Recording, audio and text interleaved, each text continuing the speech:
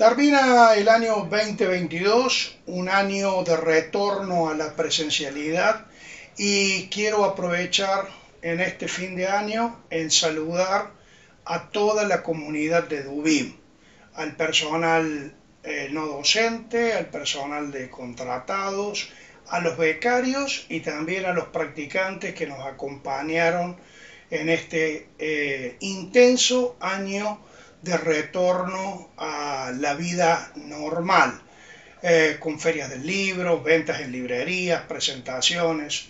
Saludar, por supuesto, a los autores de nuestro catálogo, aquellos que se incorporaron y aquellos que vienen ya en, nuestra, en nuestro haber desde hace muchos años. Eh, agradecer también a todo el equipo de gestión de la Universidad Nacional de Villa María que eh, sigue confiando en mi trabajo de dirección, al rector, a la vicerrectora, a los secretarios de rectorado, a los decanos.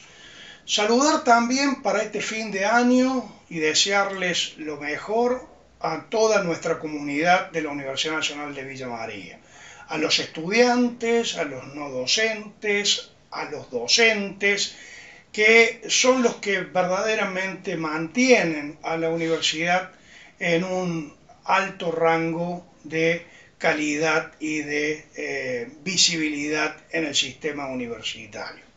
Quiero saludar también a la ciudad que alberga a nuestra eh, universidad, la ciudad de Villa María. Pero como ustedes saben, también nuestra editorial, nuestra universidad tiene ramificaciones en San Francisco, en Villa del Rosario y en la propia ciudad de Córdoba. La comunidad universitaria, la comunidad de Villa María y sus distintas participaciones también merecen y son recordadas en nuestra editorial permanentemente. Quiero también agradecer eh, a todos y a todas aquellas personas que siguen nuestro trabajo, nuestros lectores sobre todo, que siguen nuestros libros, que compran nuestros libros. Y decirles que mm, desearles un feliz año nuevo, unas felices fiestas, es lo menos que podemos hacer. El 2023 será un año sumamente especial.